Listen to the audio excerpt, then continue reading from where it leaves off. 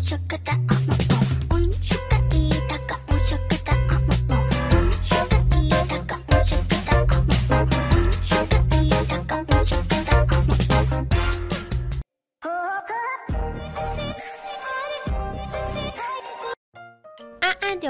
ก่อนก่อนจะไปรับชมคลิปกันนะคะ เซฟขออนุญาตฝากสปอนเซอร์ใจดีนะคะ ของทางเรากันก่อนเลยนะร้าน Cookieland Shop นะคะ รับเติมในส่วนของ Cookie Run Kingdom Cookie Run OvenBreak และเกมมือถืออื่นอีกมากมายเลยนะคะ รับประกันความปลอดภัยทุกขั้นตอนในการเติมเลยนะคะ สามารถตรวจสอบราคาแพ็คต่างๆ ได้ที่ Facebook ด้านล่างเซฟทิ้งลิงก์ไว้แล้วนะคะ ตรง description ด้านล่างเลยนะคะ สามารถเข้าไปสอบถามกันได้ค่ะ ทางไลน์ก็ได้เช่นกันนะ ตอนนี้นะคะราคาแพ็คเนี่ยยิ่งซื้อเยอะนะคะ ยิ่งลดราคาจัดเต็มจัดหนักขึ้นไปอีกนะคะทุกคนบอกเลยนะคะว่าราคาถูกปลอดภัยนะคะ เติมอย่างรวดเร็วต้อง Cookieland Shop เท่านั้นค่ะ ฝากไว้ในอ้อมอกอ้อมใจด้วยนะสวัสดีทุกๆคนเลยนะคะ ก็ยินดีต้อนรับนะคะ สู่ช่อง8ปาซีค่ะ วันนี้นะคะเซฟก็จะพาทุกๆคนเนี่ยมาดูกันในส่วนของท็อปปิ้งกันนะคะ เพราะว่าเซฟเห็นว่าหลายคนนะคะ ยังมีบางคนที่ยังใส่ท็อปปิ้งนะคะ ผิดอยู่เนาะก็คือผิดในที่นี้นะคะหมายถึงว่าสมมุติตัวแทงเนี่ยการที่เราจะให้มีประสิทธิภาพมากที่สุดนะคะ ตอนนี้ก็จะเป็นในส่วนของลดความเสียหายล้วนใช่ไหมล่ะคะตอนนี้เซฟก็เลยจะมาแนะนำทุกๆคนนะเพราะยังเห็นบางคนอาจจะแบบใส่ท็อปปิ้งป้องกันบ้างนะคะปะปรายเนาะก็ก่อนอื่นเลยนะคะ ขอแนะนำอย่างหนึ่งก่อนคือ การที่เราจะหาท็อปปิ้งนะคะในระดับ epic มาใช้นะคะ ซึ่งบางคนเป็นผู้เล่นใหม่ใช่ไหมล่ะคะก็จะมีในส่วนของอท็อปปิ้งแบบ rare นะคะ หรือ common ต่างๆ นานาเนาะทุกคนนะคะนี่อายกตัวอย่างนะคะจะมี common rare นะคะ ตอนนี้ก็คือจะค่อนข้างที่จะสลายตัวของ common ไปเนาะ และคนที่เพิ่งเริ่มใหม่นะคะ แนะนำว่าใส่แบบไม่ต้องตีบวกก่อนก็ได้ทุกคนคือใส่แบบไม่ต้องอัปเกรดก่อนนะคะ ให้มันครบ 5 ชิ้น 5 ช่องก่อนนะคะ เพราะว่ามันจะได้รับเอฟเฟกต์เนี่ยเพิ่มอีก 5%สำหรับมือใหม่ที่แบบใหม่แกะกล่องเลย โดยที่แบบยังไม่ได้พวกท็อปปิ้ง epic นะคะ ซึ่งพอเราขยับมาแล้วเนาะทุกคน พอได้ระดับ epic แล้วเนี่ยนะคะ ดูเปอร์เซ็นต์ตรงนี้ก็ได้ค่ะเปอร์เซ็นต์ตรงแถบเขียวนะคะ เราจะเรียกท็อปปิ้งนี้ว่าท็อปปิ้งลดความเสียหาย หรือชื่อทางการของเขานะคะก็คือท็อปปิ้งอัลมอนด์นะคะชั้นกลางนะคะ เห็นไหมคะว่าค่า common นะคะ ค่า rare เนี่ยมันค่อนข้างที่จะต่างกันนะคะ แล้วเมื่อเรายิ่งอัปเกรดนะคะท็อปปิ้งขึ้นไปอีกเนาะเหมือนจากบวกศูนย์นะคะ มันจะเป็น 1.7 ใช่ไหมล่ะคะพอบวก6 ขึ้นมานะคะ จะเป็นในส่วนของ 2.9 และจะมีออฟลองนะคะ ตรงนี้ ซึ่งออฟลองตรงนี้เนี่ยนะคะ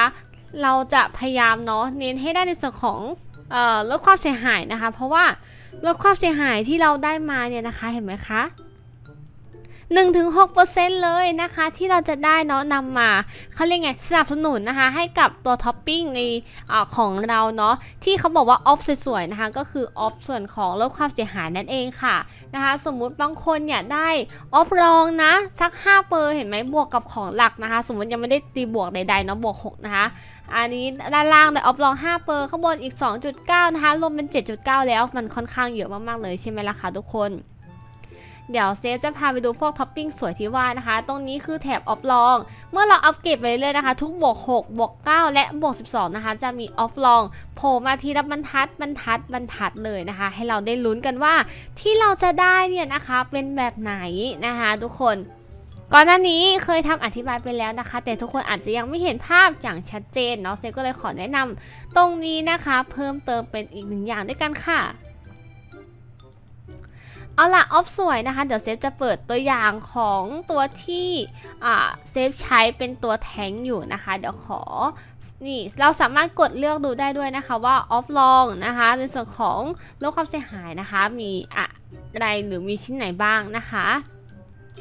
ยกตัวอย่างค่ะ เหมือนตัวของ Wildberry ของทีมเซฟใช่ไหมล่ะคะ เมื่อเราอัปเกรดนะคะท็อปปิ้งบวก 12 ปุ๊บนะคะ ค่าข้างบนเนี่ยจะตันที่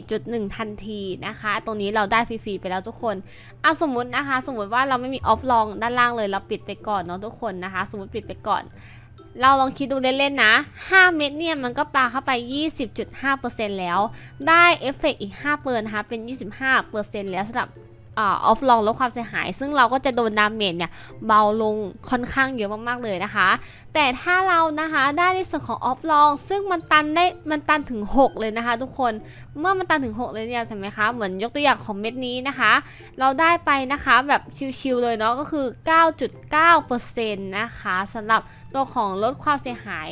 เม็ดนี้เม็ดเดียวนะคะ ทุกคนแล้วถ้าเกิดว่าเราได้ลักษณะใกล้เคียงแบบนี้เนี่ยทั้ง 5 เม็ดนะคะ ก็จะบอกเลยว่าทีมแท้งของเราเนี่ยจะมีความอึดมากๆ และจะบอกทุกคนค่ะ ไม่ใช่แค่ตัวแทงเท่านั้นนะคะ ที่จะใช้ในส่วนของท็อปปิ้งลดความเสียหายนะคะ ตัวอื่นก็ใช้เช่นกันค่ะ ยกตัวอย่างนะคะในส่วนของบราวน์ชูก้าค่ะ หลายคนถามเซฟมาว่า ฮ้ยทำไมพี่เซฟไม่ใช้เป็นไอโจมตีหรือแบบติดคริติคอลแบบนี้ล่ะคะอะไรอย่างนี้ใช่ไหมหรือแบบว่าทำไมโจมตีล้วนไม่ใส่ทำไมถึงใส่ในส่วนของออลดความเสียหายนะคะ ก็จะบอกทุกคนเลยว่าที่ใส่ลดความเสียหายนะคะหนึ่งค่ะให้เราดูเลยว่าอาชีพที่เขาเป็นเนี่ยเป็นอาชีพอะไรเนาะถ้าเราเนี่ยเหมือนของตัวบราชูก้านะคะเขาเป็นโจมตีระยะไกลที่ยืนข้างหน้าสุดนะคะ อะเข้าใจเหมือนกันทุกคนเนาะ จบในระยะไกลนะคะ แต่ว่าเป็นแถวหน้านะคะ เพราะฉะนั้นเนี่ยตัวของปาชูก้าเขาจะโดน damage ค่อนข้างง่ายเนาะถึงแม้ว่าจะมี skill นะคะในการกระโดดมาด้านหลัง และยิงยิงยิงยิงไปนะคะ ก็ไม่สามารถช่วยได้นะคะ เพราะฉะนั้นแล้วเนี่ยตัว damage ตัวนี้นะคะเซฟก็จะใส่เป็นในส่วนของลดความเสียหายล้วนนะคะ เพื่อให้เขาเนี่ยสามารถยืนได้เนาะแล้วก็เราค่อยเป็นในส่วนของความเร็วโจมตีที่เป็นออฟรองเพิ่มเติมนะคะเอฟเฟกด้านล่างนะคะ นี่คือออฟรองบวกออฟหลักเรียบร้อยแล้วนะคะนี่ 47.3%เลยนะคะ แล้วก็บวกอีก5%เนาะไปนะคะ ในส่วนของท็อปปิ้งอัลมอนด์นะคะของเราค่ะ แล้วก็ก่อนหน้านี้นะคะ ก่อนที่จะมีฟินแลเซียนะคะ เซฟก็เคยทำในส่วนของอ่า เอสเปรสโซเป็นลดความเสียหายล้วนก็มีค่ะทุกคนนะคะ เพราะว่าบางครั้งนะคะ ตัว damage เราเมื่อลง arena เนี่ยมันจะตายก่อนเสมอนะคะ เพราะว่ามันด้วยความที่ตัวบางเนาะทุกคนดูค่าพลังชีวิตนะคะ ค่าพลังป้องกันนะคะ ตรงนี้ค่อนข้างน้อยไม่ได้เยอะเลยนะคะทำให้เราเหล่าตัว damage ทั้งหลาย หรือแม้แต่ตัว heal ตัว sup นะคะ ซึ่งตายง่ายก็ต้องใช้ในส่วนของท็อปปิ้งลดความเสียหายเช่นกัน หรือถ้าใครนะคะ เอาไปลงด่านรู้สึกว่าเฮ้ยทำไมตัว heal ของเราตายง่ายจัง support เราทำไมตายง่ายแบบนี้ เฮ้ยสายเวทมนต์น้องพายทองทำไมตายง่ายแบบนี้นะคะ เราก็จะหันมาใช้ในส่วนของลดความเสียหายเช่นกันนะคะ เพราะฉะนั้นเนี่ยลดความเสียหายนะคะ ไม่ได้ใช้แค่แท้งอย่างเดียวนะคะ แต่ใช้ทั้งตัวที่เราต้องการให้มีความอึดถึก เพิ่มมากขึ้นนะคะ เกมนี้นะคะในส่วนของพลังโจมตีสำคัญไหมก็สำคัญเช่นกันค่ะ แต่ arena เนี่ยบางครั้งนะคะก็วัดกันในส่วนของความอึดถึกของแต่ละฝ่ายนะคะ ที่มาเผชิญหน้าต่อกันนะคะ อีกด้วยนั่นเอง อันนี้นะคะเหมือน เอแคลร์ เนาะเซฟก็จะใช้ในส่วนของอลดความเสียหายล้วนนะคะ มา support เนาะเพราะว่าตัวของน้องเนี่ย เราลง arena กันแบบดุเดือดอยู่แล้วนะคะ นี่ขนาดเป็นสาย support ก็ยังตายง่ายเลยทุกคนนะคะเซฟใส่ลดความเสียหายล้วนเนี่ยก็ยังตายง่ายนะคะ อันนี้ยกตัวอย่างเป็นท็อปปิ้งเซตที่รู้สึกว่าค่อนข้างสมบูรณ์แบบตรงที่ว่าออฟรองลดความเสียหายเนี่ย 40%ขึ้นไปแถมยังมี cool time มาอีกนะคะ เหมาะสำหรับตัวที่ต้องการใช้ cool time นะคะ เพราะว่าเออบางตัวเช่นเหมือนกับ ดาร์กดาร์กโกโก้นะคะก็ใช้ในส่วนของลดความเสียหายออฟรองลดความเสียหายนะคะ แล้วก็ออฟรอง cool time ผสมด้วย การออก skill จะได้แม่นยำมากยิ่งขึ้นนะคะ หรือการออก skill ได้จังหวะ timing ที่เราต้องการนะคะเอแคลร์ก็เช่นกันค่ะที่เซฟทำไว้นะและเพื่อนๆ นะคะ คนไหนที่รู้สึกว่า เฮ้ย เราไม่มีท็อปปิ้งอื่นแบบเขาเลยนะคะทำอย่างไรได้บ้างนะคะ ก็พยายามค่ะ อาจจะอัปเกรดท็อปปิ้งทีละบวก6ก่อน เพื่อดูว่า stat ของเขานะคะออฟรองเนี่ยเป็นอะไร เหมือนของเซฟนะคะ อันนี้ก็คืออ่าของเซฟอยากจะใช้ในส่วนของลดความเสียหายคีย์ด้วยโอเค แต่พอบรรทัดที่2เนี่ยมาในส่วนของลดความเสียหายแค่ 1.2 นะคะ เรารู้สึกว่า เอ้ย ไม่ได้แล้วมันค่ามันน้อยเกินไปนะคะ เราก็ข้ามไปอัปเกรดชิ้นอื่นทันทีเลยเนาะ จะได้ไม่เปลืองในส่วนของชิ้นส่วนท็อปปิ้งไปในตัวด้วยนะคะ แล้วก็อีกอย่างหนึ่งคือ ถ้าเกิดว่า เรายังไม่มีท็อปปิ้งที่สวยแบบนี้ใช่ไหมหรือท็อปปิ้งที่แบบดีๆนะคะ หรือเรามีในส่วนของท็อปปิ้งอัลมอนด์ค่อนข้างน้อย ให้ทุกคนนะคะใช้ท็อปปิ้ง อันนี้เนี่ยเซตนี้นะคะให้เหมือนกัน 5 ชิ้นไปก่อนเพื่อเอาเอฟเฟกต์ด้านล่างก็ทำได้นะคะทุกคนแล้วค่อยๆนะคะ ขยับหาท็อปปิ้งหาอัปเกรดไปเรื่อยๆนะคะ ค่อยๆเปลี่ยนทีละชิ้นทีละชิ้นทีละชิ้นก็ได้นะคะ ไม่ต้องเร่งถึงขนาดแบบเฮ้ยเราต้องได้ภายในวันเดียว หรือเราต้องแบบบวก 12 เพื่อรอลุ้นบรรทัดสุดท้ายเลยนะคะ บางครั้งเนี่ยมันอาจจะทำให้เราเนี่ยเสียชิ้นส่วนท็อปปิ้งโดยใช่เหตุนะคะ ซึ่งตอนนี้เนี่ยชิ้นส่วนท็อปปิ้งนะคะเป็นช่วงที่สามารถฟาร์มได้กันอย่างมาก ๆเลยนะคะ เพราะว่าเราจะมีในส่วนของอรถนะคะที่เป็นรถไอติมเนาะแล้วก็บริจาคของนะคะ เราจะได้ในส่วนของอชิ้นส่วนท็อปปิ้งมาด้วยนั่นเองค่ะนี่เห็นไหมนะคะ เหมือนของที่เราใช้งานทุกๆวันนะคะนี่แล้วเราแลกปุ๊บได้ตั้ง 15 ชิ้นเลยนะคะ ซึ่งตอนนี้เนี่ยควรจะ ทำนะคะหรือแลกเก็บไว้มาก ๆ เลยนะทุกคน เพราะว่ามันค่อนข้างที่จะคุ้มค่ะ เพราะหลังจากนี้เนี่ยเราไม่รู้ว่าจะมีวิธีการที่ได้ในส่วนของชิ้นส่วนท็อปปิ้งง่ายมากกว่านี้อีกหรือเปล่านะคะ แล้วก็ไม่ใช่เพียงแต่ท็อปปิ้งลดความเสียหายเท่านั้นนะคะ หรือท็อปปิ้งอัลมอนด์เท่านั้นนะทุกคนท็อปปิ้งอีก 2 ชนิดนะคะที่เรามักจะใช้บ่อยนะคะเซฟขออนุญาตยกมาอีก 2 อย่างเนาะที่ใช้บ่อยๆนะคะ ก็คือจะเป็นในส่วนของ cool time ล้วนค่ะ อีกหนึ่งชนิดที่เรารู้สึกว่าใช้บ่อยมากๆเลยนะคะ เดี๋ยวเซฟเอาตัวอย่างให้ดู โอเคค่ะ อันนี้นะคะอาจจะดูว่าเฮ้ยมันทำยากมากๆเลยนะคะ แต่ถ้าทำได้มันจะคุ้มกับเพื่อนๆทุกๆคนมากๆเลยนะคะ และในส่วนของท็อปปิ้งนะคะ chocolate chip หรือท็อปปิ้ง cool time ที่เราเรียกกันง่าย ๆนะคะ ลักษณะการออฟเนี่ยเหมือนกันเลยค่ะนะคะ ก็คือเน้นออฟรองลดความเสียหายนะคะ แล้วก็ cool time นะคะ เพราะว่าบางทีนะคะตัว support ของเราเนี่ยนะคะจะต้องอาทำการ skill บ่อยๆเนาะหรือใช้ skill ถี่ๆนะคะ ไม่เพียงแต่ตัว heal หรือตัว support เท่านั้นนะคะ บางครั้งตัว damage หรือตัวแทงเนี่ย การที่เราจะทำการขัดจังหวะเขาหรือช่วยแทงหรือช่วย buff นะคะ ตัว damage ของเราเหมือนน้องฟินแลนเซียเนาะก็อาจจะต้องใช้ในส่วนของ cool time ล้วนเช่นกันนะคะ แต่ว่านะคะขอย้ำเพื่อนๆเลยว่าครูทำทำได้ไหมทำได้ค่ะ แต่ลองดูด้วยว่า ด่านนั้นที่เราใช้นะคะ ตัวที่เราใช้ครูทำเนี่ยเขาตายง่ายหรือเปล่า ถ้าตายง่ายนะคะ แล้วเราไม่มีในส่วนของออฟโหลดลดความเสียหายเลยเฮ้ยครูทำ5เม็ดออฟโหลดลดความเสียหายไม่มีเลย ให้เราเนี่ยเปลี่ยนนะคะไปใช้ในส่วนของท็อปปิ้งลดความเสียหายอันเมื่อกี้นะคะที่เป็นอัลมอนด์เนาะมาใช้แทนหรือผสมกันได้นะคะ cool time ติดไว้สัก 8 หรือ 9%ไว้ก่อนแล้ว เอาตัวของอัลมอนด์เนี่ยมาช่วยเสริมๆนะคะ เน้นลดความเสียหายเยอะๆนะทุกคน เพราะว่าหลายครั้งนะคะที่เซฟเคยไปลงด่านให้นะคะ เซฟจะเจอปัญหาตรงที่ว่าเฮ้ยมันยืนไม่ได้เนาะเพราะว่าบางครั้งเนี่ยอาจจะพยายามใช้ในส่วนของ cool time ก็จริงค่ะ แต่ว่าออฟโหลดลดความเสียหายไม่มีก็ทำให้น้องเนี่ย skill บ่อยก็จริงค่ะแต่ตายง่ายมากยิ่งขึ้นนะคะ ก็เลยอาจจะต้องมีการใช้นะคะท็อปปิ้งอัลมอนด์นะหรือท็อปปิ้งลดความเสียหายเพิ่มเข้ามาประมาณ 2 เม็ดประมาณนี้นะคะ มันสามารถทำได้ทุกคนแต่มันจะไม่ได้เอฟเฟกต์ข้างล่างเฉยๆนะคะ ที่เป็นเอฟเฟกต์เซตนะคะช็อกโกแลตชิพเนาะแล้วก็ cool time ให้อีก 5%นะคะ ตรงนี้แค่ไม่ได้เนาะทุกคนแต่ว่าอยากให้ทุกคนนะคะเน้นในส่วนของลดความเสียหายนะคะ op รองลดความเสียหายก่อน ไม่ว่าเราใช้ท็อปปิ้งโจมตีนะคะ เราก็ต้องเน้นในส่วนของ op รองลดความเสียหายค่ะ เพราะว่าตอนนี้นะคะณตอนนี้เนาะ ท็อปปิ้งลดความเสียหายนะคะ ก็ค่อนข้างใช้กันเยอะแล้ว หรือถ้าเกิดเราใช้ท็อปปิ้งโจมตีเราแบบโห damage หนักหน่วงมากนะคะ แต่เราไม่มี op รองลดความเสียหายเลยนะคะ ตรงนี้ก็ทำให้ damage ของเราเนี่ย ปลิวได้ไวมากยิ่งขึ้นเช่นกันนะคะลดความเสียหายตอนนี้เป็นค่าที่สำคัญที่สุดในเกมนะคะ แล้วก็อนาคตต้องดูต่อไปว่าลดความเสียหาย critical เนี่ยจะมาตีคู่กันหรือเปล่า หรือจะเป็นในส่วนของลดความเสียหายนะคะ ที่จะมาเป็นหลักๆค่ะ เมื่อกี้นะคะเกริ่นไปถึงในส่วนของท็อปปิ้งโจมตีล้วนแล้วนะคะ ก็มาดูกันเลยค่ะ เห็นไหมคะว่าทุกๆตัวนะคะ จะต้องมี status ของลดความเสียหายนะคะ ที่ติดมาในทีม เพราะไม่อย่างนั้นเนี่ย อย่างที่เซฟบอกไปเนาะว่า แต่ละตัวมันอาจจะยืนไม่ไหวนะคะ cool time มาดีเลย cool time ดี ปุ้ง แต่ตายไวก็ไม่สามารถช่วยอะไรได้ พลังโจมตีโหเยอะมากแบบ damage ตุ้มตามตุ้มตามแต่พอเราไปเล่นใน arena ปุ๊บปุ๊บปุ๊บโดนตีตายนะคะ พอออฟโหลดลดความเสียหายไม่มีอาจจะปลิวไวไปก่อนนะคะ ตรงนี้ก็มีผลสำคัญมากๆ การลงด่านบางครั้งที่แบบเฮ้ยเราทำท็อปปิ้ง เหมือนเลยเลเวลเหมือนเลย ทุกอย่างแบบเหมือนมากตำร้านนู่นนี่นั่นปุ๊บเหมือนเลย แต่เราไม่ได้สังเกตตรงส่วนของออฟโหลดลดความเสียหาย ตรงนี้นะคะก็อาจจะทำให้เราไม่ผ่านได้เช่นกันค่ะจะบอกทุกคนว่าเราผสมท็อปปิ้งได้นะคะ ก็คือเหมือนกับว่าเราใช้แบบอันนี้เซฟยกตัวอย่างเล่นๆนะ สมมุติแบบเฮ้ยเราไม่มี op รองลดความเสียหายเลยนะคะ ให้เราติ๊กหาตรงนี้เนาะฟิลเตอร์ตรงนี้ไว้นะคะ จะได้ช่วยดูได้ง่ายๆเลย เฮ้ยเรามี เนี่ยเรามีแค่ 3 เม็ดแบบนี้นะคะ เราแบบเฮ้ย op รองลดความเสียหาย 14%เอง ถ้าเราใส่โจมตีนะคะชิ้นอื่นๆมาลองดูปุ๊บ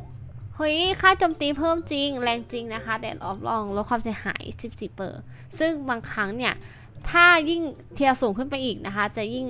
ยืนไม่ไหวแล้ว หรือว่าลงด่านเนี่ย ถ้ายิ่งลงด่านเลเวลสูงๆ ก็คือยืนไม่ไหวแล้ว 14%นะคะ เราก็สามารถนะคะ ใช้ตัวของ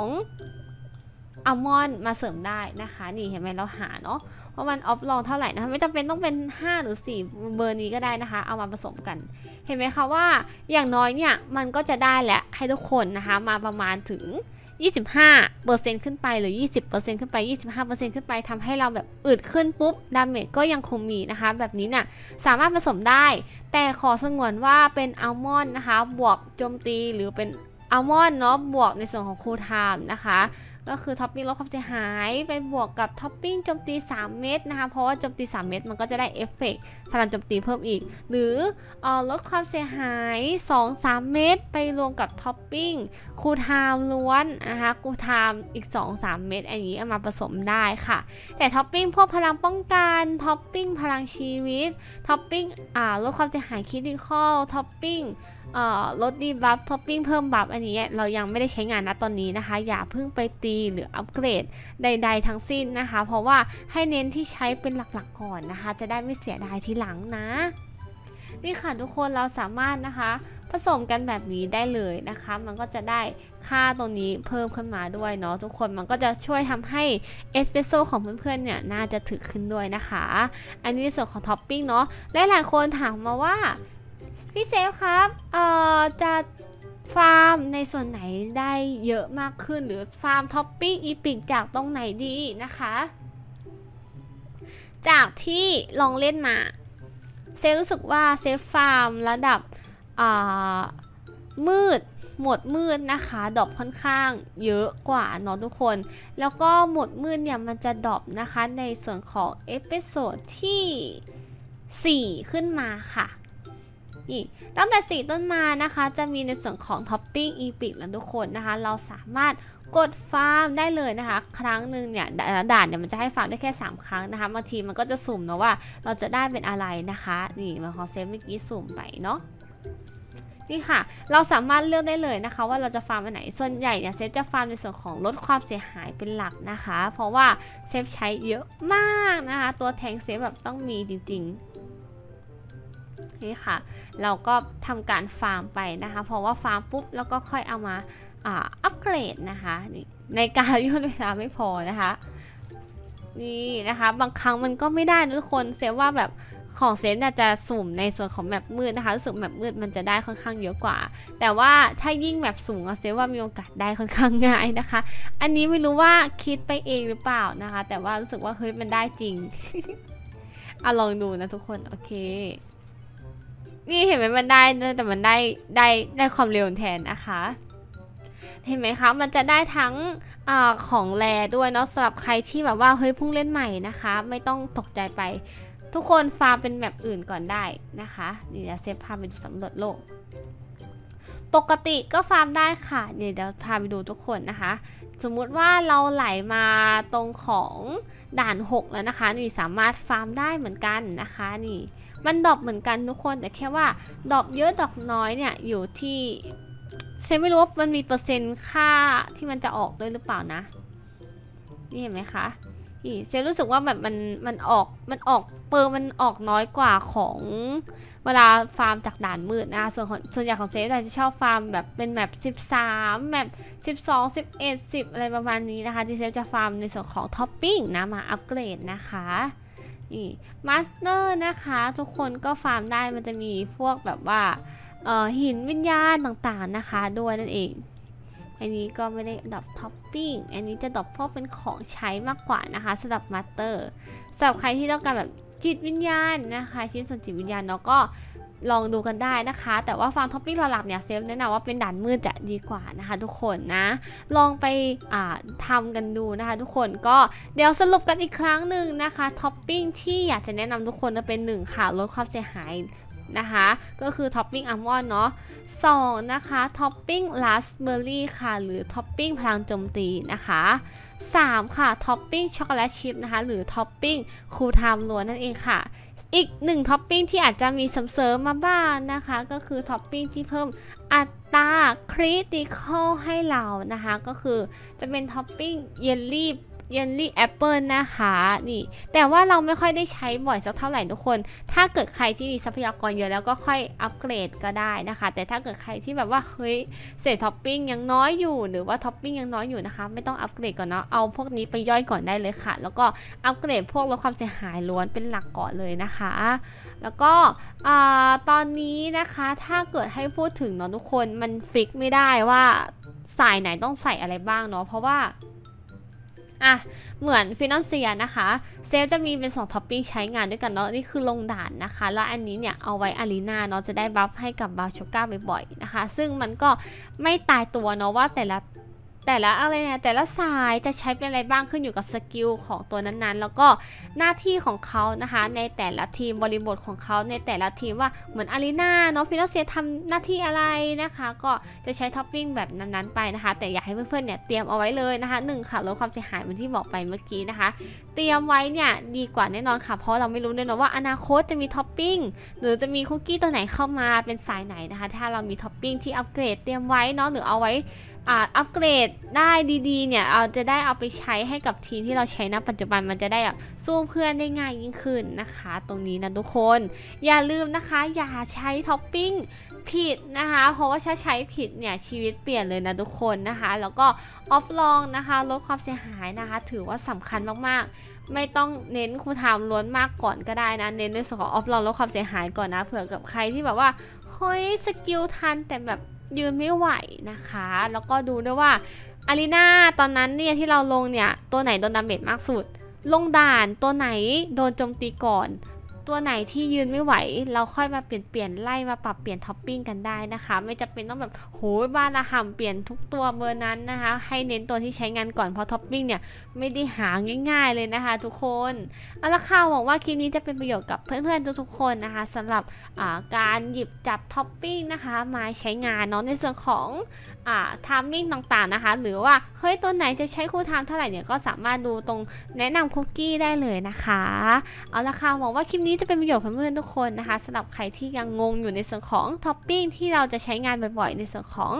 อการลงด่านหรือ arena นะคะท็อปปิ้งยอดนิยม หรือท็อปปิ้งที่แบบใช้งานแน่นอนนะคะเอาละค่ะขอฝากเนื้อฝากตัวเลยนะคะชอบเป็นบาทซีนาทุกคนแล้วเจอกันใหม่ในคลิปถัดไปค่ะ สวัสดีค่ะบ๊ายบาย thank you